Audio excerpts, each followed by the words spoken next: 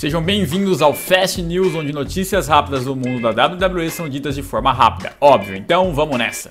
Como vocês já sabem, hoje teremos mais um episódio do Monday Night Raw. E a WWE lançou camisas com o slogan Los Angeles 316, que no caso é a cidade onde ocorrerá esse Monday Night Raw, e também o slogan de Stone Cold Steve Austin, que agora é especulado que apareça no show. Vale lembrar que ele mora pela região e também tem um programa na WWE Network, que é o seu podcast. Como todos vocês já sabem, desde o ano passado, a diva da WWE Paige vem tendo um relacionamento com o ex-superstar Alberto Del Rio. Porém, rumores afirmam que nesse fim de semana o relacionamento dos dois terminou. Vale lembrar que durante todo esse tempo já houve muitos momentos polêmicos envolvendo os dois. O principal deles foi quando Alberto Del Rio utilizou a conta de Paige para criticar a WWE. Vale lembrar que Paige ainda tem contrato com a WWE e pode estar querendo retornar à empresa. Isso inclusive pode ser um dos motivos para o fim do relacionamento. O ex-campeão americano Chris Jericho estará voltando a lutar, porém apenas em uma live event.